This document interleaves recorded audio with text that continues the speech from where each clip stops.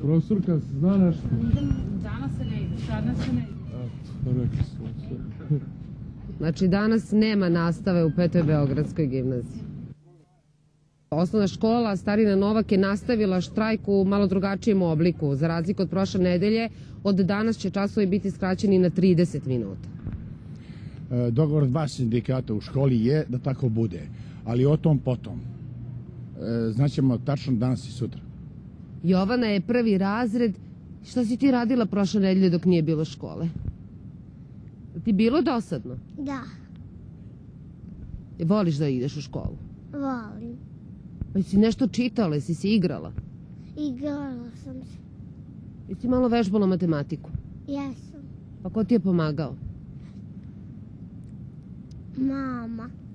Kad je dosta s posla. Kako ste se vi snalazili prošle nedelje? Ko je čuvao Jovanu? Pa Jovana je bila malo sama uz pomoć tate, tate je uzeo neke slobodne dane i to je to, ja sam radila. I... Dobro, sad će biti lakše, ima nastave. Pa ima nastave, ali opet skraćeno. Tako da opet mora da se izlazi ranije s posla i da se ide po decu i...